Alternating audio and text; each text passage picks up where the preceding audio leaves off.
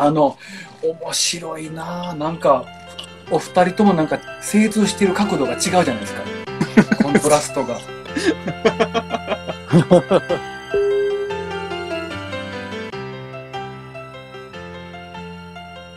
面白いなぁ。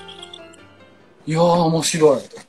逆に自分なんかって、その、なんて言うんだろう。今で言うと、親父なんかの世代の、やっぱ特撮とか、そういうアニメだったりとかが好きだもんで、お父さんいくつ？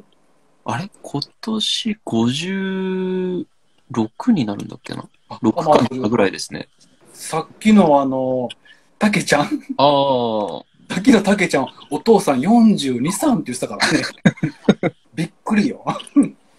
で、そうするとやっぱり周りにその同じ趣味のやつってやっぱいないんですよね。ゲームが好きっていうのは一緒だけど、その例えば他の雑談とかっていうのは全然やっぱり噛み合わなくて。ここ最近になってやっぱそのさっき言ってたそのインスタだったりとか SNS が流行ってきて話し合う人がすごい出てきたなっていうのがすごく感じますね、やっぱり。なるほどね。え、うんそうか。その年代でやったら今の趣味やったらちょっと変わってるんやね。そうですね。結構やっぱ周り全然いなかったですね。好きな人がうん。ガンダム好きな人も全然いないですし。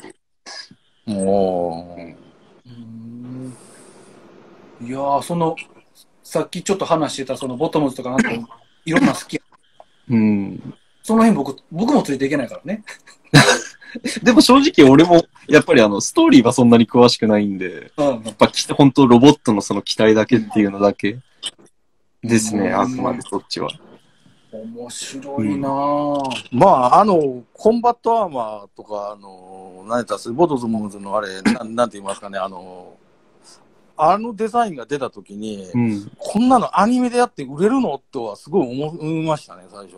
ああんまりにもリアルすぎるんで、ボトムズのはちょっと、ちょっと地味というか、ええその、なんていうんですか、ほんまにブリキで作ったみたいなね。うん戦車の延長線みたいな。やっぱり当時のデザインっていうか、角があって目があってっていうがが主流じゃった、うん。だったんで、あのデザインを富野さんがやった時に、こんなの売れるのかなっていう場でも思ったんですけど、すごい人気店でしたからね、当時から。ボトムズと、あの、あの、なんやろ、あの、ダグラムは。うん。それザブングルもそうでしたけど、ああ、ただ、高知県やってなかったんですよ、そうんの放送。でで見ることなかったんで、もうアニメ雑誌で、その、なんか情報つかむぐらいのもんだったんですよね。高知県やってなかったんで。で、まあ、まあ、ダグラムは見てみたいなとは思ったんですけどね、あの時に。プラモデルも宝のプラモデル買って作作ったことあったんで、これはなんかリアルだなっていう、なんか戦車に似てるなっていうような感じがあって、うんもう今、なんかガンプラってすごい争奪戦になってるじゃないですか。らしいね。うん。ええもう、すごいですよ、もう。もう、なんか、いつも、あの、予約開始、もう、ネット上から瞬殺、うん転売って、その繰り返しですもん、今。あ、そうそう、転売もすごいらしいね。え多いみたいですね。うんえええちなみに最近は何買ったんですか？最近はですね、えーっと、まあ、今、い本当にあの、高知県の端の方に住んでるんですけど、ちょっと知り合いの紹介で、なんか、ちっちゃなガンプラ専門店っていうか、うんあの、は本当の、あの、ところ、あの、離れというか、市内の離れにあるんですよ。で、そこので行ったらですね、結構売れ残りがあって、マラサイとか、うんえーっと、ガサシーとか、もう今市場じゃ全然えーっと、ザク3とかいうのがあってですね、ダブルゼータシーあ、これすげえやっていうので買買ったんですよ。今はないんですよ、うんマラサイとか全然市場には。でそこの店なんでか売っててですね。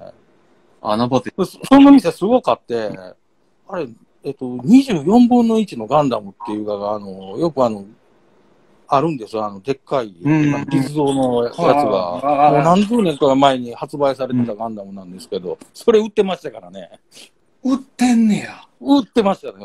飾ってるんじゃなくびってくりしました。ええで一瞬買おうかなと思ったんですけど、めっちゃ高いんでやめたんですけど 一瞬買おうと思ったんや、あれを。一瞬買おうと思って、これ、あの、メルカリあたりに流したら結構な値段で売れるんじゃないかな。あそういうことねやっぱり、あ、びっくりした。いいそもそもの値段が高いんうんで、やめたんですけどね。